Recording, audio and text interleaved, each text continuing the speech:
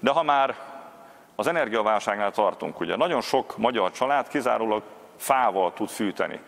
Valahol az 500 ezer és 1 millió között lehet azon magyar ingatlanok száma, amelyet csak jellegéből adódóan csak fával lehet fűteni. Egy sor utalás nincs arra, mondjuk a tűzifa áfamentességét biztosítanák, holott a valóban tűzifa minőségű fűtanyagnak legalább 4000 forint körül lesz a másánkénti költsége, legalábbis állami erdőgazdaságok vonaláról erről lehet hallani. 4000 forint mázsánként jár egy frissen vágott, gyakorlatilag vizes nem feltétlenül jó, jó használható tűzifa esetében a legtöbb magyar család számára kigazdálkodhatatlan. A szociális tűzifa program, mielőtt még ezzel érvelnének, az elenyésző töredékét tudja csak kielégíteni a valós igényeknek. A tűzifa teljes áfamentesítétele legalább egy rövid időre, legalább erre a fűtési szezonra, ami majd ugye októbertől indul, nagyon komoly segítséget jelentene. Feltéve, hogy ez megjelenik a fogyasztói árakban, és nem nyelik be a kereskedők, nagyon komoly segítséget jelentene a magyar családoknak. De beszélhetnénk itt a teljesség igényi nélkül a családtámogatásokról is. Tegnap egy rövid utalás hangzott én ezt kicsit jobban kibontanám. Hiányolja a Mi Hazánk mozgalom az első és a második gyermekek után járó családtámogatások mértékének a, mértéken növekedésének az elmaradását, hiszen nagyon szép a három és négy gyermekes család, csak hát a természet az úgy, teremt, úgy, úgy alakította az embert, hogy mondjuk a hármas és négyes ikrek, ikrek ritkán születnek meg, és általában ahhoz, hogy mondjuk három és négy gyerek legyen, ahhoz először az első és a második gyermek vállalása szükséges, és ezek a családok sem alacsonyabb rendű tagjai vagy sejtjei a magyar társadalomnak, ezek az egy-két gyermekes családok is sokkal magasabb támogatást érdemelnének. Na de aztán vannak itt a költségvetéssel szélesebb összefüggés mutató kérdések. Az elmúlt hetekben ugye nagy port vert fel a kata, a kisvállalkozók általányadója körüli vita. E, próbáltam itt e, vita közben egy rövid fejszámolást végezni. Ha abból indulunk, hogy 460 ezer katás vállalkozó e, működik, 108 ezeren mellékállásban, a többiek főállásban katáznak, akkor bizony valahol a 200-270 milliárd forint körül is lehet a katából származó éves bevétel. Az biztos, hogy minden évben sokkal többet hozott a konyhára, mint amennyit a kormány tervezett. Tehát egy igazi sikertörténettel állunk szemben. Ennek a sikertörténetek pedig vagy véget akarnak vetni, vagy kevésbé durva esetben jelentősen meg akarják keseríteni a katás vállalkozók életét, akár a tevékenységi körök megnyírbálásával, akár az adóemeléssel, akár bármilyen egyéb körülménnyel. 460 ezer katás azt üzeni a magyar kormánynak és a magyar országgyűlésnek, hogy körülbelül 400 ezer és 1 millió 800 ezer létszámú lélekszámú magyar ember megélhetéséhez járul hozzá részben, vagy esetleg biztosítja ennyi ember megélhetését teljes egészben. Tehát egy nagyon komoly vállalkozói réteg, és egy nagyon komoly társadalmi tényező, és nagyon komoly gazdasági és társadalmi kérdés az, hogy a katához önök hogyan kívánnak hozzányúlni. Azt is elképesztőnek tartja a mi hazánk mozgalom, hogy az egy kifizetőtől, kifizetőhelytől származó jövedelmet, mert ugye 2020. január 1-től 3 millió forintban, cirka havi 250 ezer forintban maximálták, 2020. január 1 óta hiperinfláció, vagy ahhoz közeli mértékű infláció van. Éppen ezért nagyon alaposan át kell gondolni hogy az ezzel kapcsolatos jövedelemhatárokat és az a fölötti adózást hogy határozzák meg. A 40%-os büntetőadót nem oktatónevelő célzatúnak, hanem megtorló jellegűnek és felháborítónak tartjuk. Legfeljebb 15%-os mértéket lehet megengedni, és legalább 6 millióra kellene emelni egyébként az azonos kifizetőtől származó jövedelem felső határát a mostani 3 millió helyett.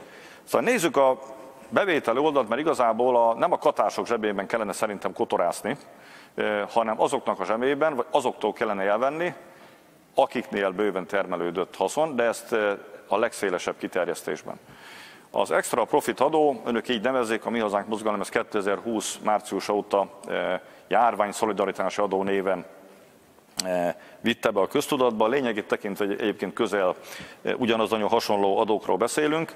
Igen, ám csak vannak, van komoly hiányérzetünk is, hiszen eddig nem láttuk a felsorolásban mondjuk a vakcinagyártókat, akik a, ennek az egész Covid őrületnek a világháborút helyettesítő világjárványnak a legnagyobb haszonélvezői, még a normál gyógyszergyártókhoz képest is szinte már fokozhat, nem is tudom, hiper, extra, nem tudom milyen haszonra tettek szert az elmúlt két évben, még az átlag gyógyszergyártókhoz viszonyítva is mondom ezt.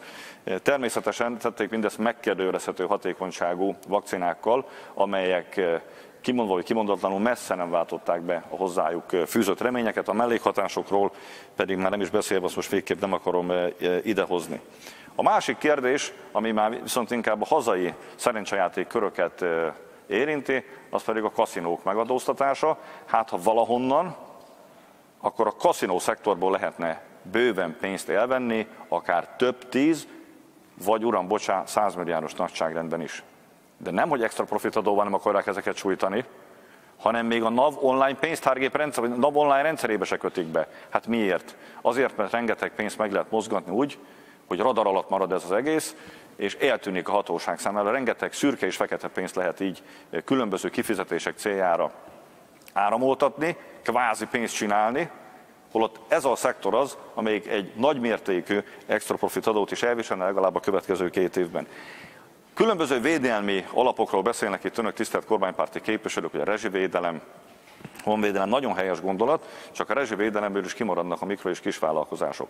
Két héttel ezelőtt én interpellációt nyújtottam be e, ebben a kérdéskörben, az a válasz született, hogy legalább 100 ezer mikro- és kisvállalkozó e, benne marad ebben a körben. Nos, ami most kialakulni látszik, az alapján mondhatjuk, hogy ez, ez egy szemeszedett hazugság volt, mert mondjuk évi 1500 köbméteres gázfogyasztáshoz, vagy évi 4000 kWh áramfogyasztás felső határához kötni a rezsivédett körben való maradást, az azt jelenti, hogy a százezer mikro- és kisvállalkozónak az elenyésző töredéke fogja csak ezt igénybe venni. És nagyon sajnálom, hogy Kovács Sándor képviselőtársam kiment a teremből, mert éppen tegnap többen hívtak Máté Szalka és az ő lakóhelye Géberén környékéről is, hogy olyan vállalkozókat tesznek át vagy tesznek ki a rezsivédeti körből már a vízfogyasztás kapcsán, majd aztán folytatják az árammal és a gázzal, eh, akiknek az állandó lakóhelye és a cég székhelye megegyezik, tehát azonos lakcímen van.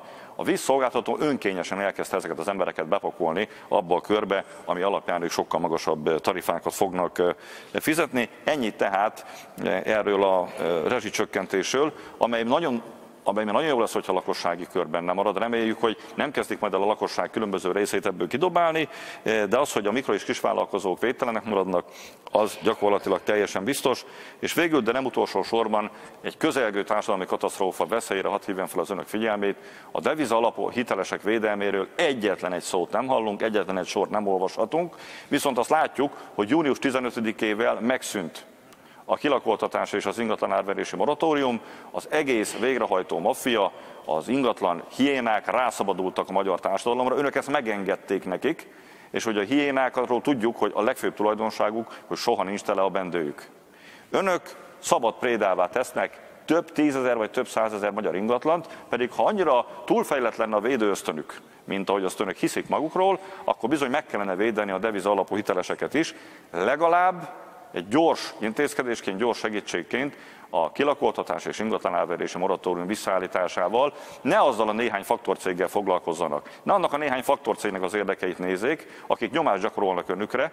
E, ráadásul történik ez egy Völner ügy, és egy Völner Schadl ügy árnyékában. Nagyon e, rossz következtetéseket, nagyon gyanús következtetéseket lehet ebből levonni, úgyhogy mivel itt a a védelmi hatás és a védelméről jóval csekélyebb mértékű, mint ahogy azt önök hirdetik magukról, és egyébként is számos hiányossággal küzd ez a költségvetés, amely a multi költségvetése, ezért a mi hazánk mozgalom ezt nyilvánvalóan nem fogja tudni támogatni. Köszönöm szépen a lehetőséget.